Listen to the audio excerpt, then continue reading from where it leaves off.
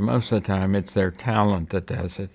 Like one day when we were filming on Out of Towners, we were in Central Park at the at the south end and working away and about 10 o'clock neil came by and he just was visiting and and i said oh i'm glad you're here neil because i was going to phone you things are moving faster than we than we anticipated and i think we need another scene okay he said what what kind of scene I said, maybe, maybe something relating to the kids so we know that their Midwest home hasn't been forgotten, that the children are still in their mind.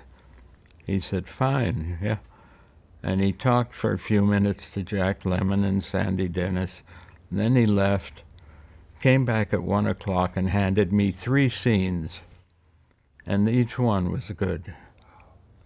Now I say, how can a man leave at 10:30, go to his apartment, find maybe find one script, I don't know, but to have three scripts done by one o'clock and have them good. So he's that kind of writer.